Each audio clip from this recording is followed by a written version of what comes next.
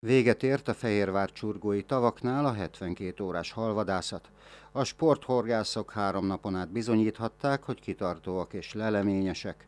A felkészült sportemberek rekordmennyiségű nagy ragadozót zsákmányoltak ez idén.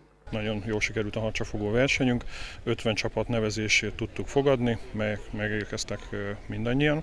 Ez az 50 csapat a 72 óra alatt 1100 kg felett fogott halat, mely pillanatpuskáznom kell 96 darab, és 16 csapat nem fogott, tehát eredménytelenül végzett.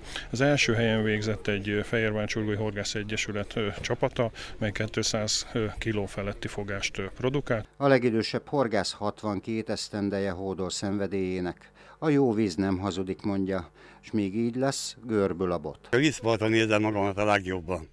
És én úgy vagyok vele, hogy nem a megfogott halmát, nem is nagyon szeretem a halat, már megenni, fogyasztani, hanem azt szeretem ebben, hogy itt jó közösség van, rendes emberek jövök össze.